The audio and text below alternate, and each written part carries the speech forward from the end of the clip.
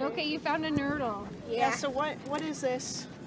What's this, What's a this little Yeah, round yeah, one? We, we want to learn about nurdles. Those are Nurdles. nurdles, and They nurdles can- are what manufacturers use to set. So the virgin, it starts out virgin plastic, and then it becomes a nurdle, and then, and then those they like get, get, shipped across the sea, and then they um to become other products, melted yeah down like into uh, molds. like bigger products like but they might get lost at sea. these, and then Right. like when the ships have an accident, it all goes into water and it comes here where we find it. And then if they do manage to get through, then people, pieces that are finished come out.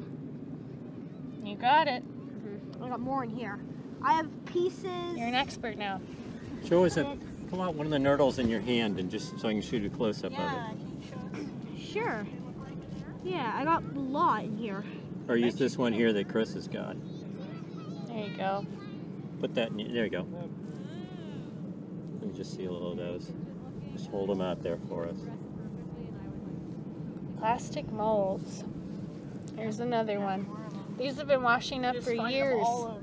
And also, you guys are helping me fill Who up knows mine. how long they've been out there, you know? What's cool is you guys are getting them before they get washed back out. Mm-hmm. Yeah, because if they get back, back, washed back out, then we're all gonna finish up, think that we got them all, and then when we leave, and then when the tide comes in tomorrow, there'll be more nurdles. Right, in the hot sun, like on a day today, We'll the sun them. the sun is gonna make it more brittle and it's gonna break apart a lot more easily and become so tiny that we can't even see it anymore. Yeah, this. I think that's what happened to some of this stuff in here, because this feels melted. This is melted a bit. Oh, this one, see, this one just crushed in my hand a little bit and came apart mm-hmm. really easily. Yeah, I got a whole bunch of stuff in here. This is part of a comb. Yeah, and plastic that that's how plastic got started was combs because they needed to find a replacement for ivory.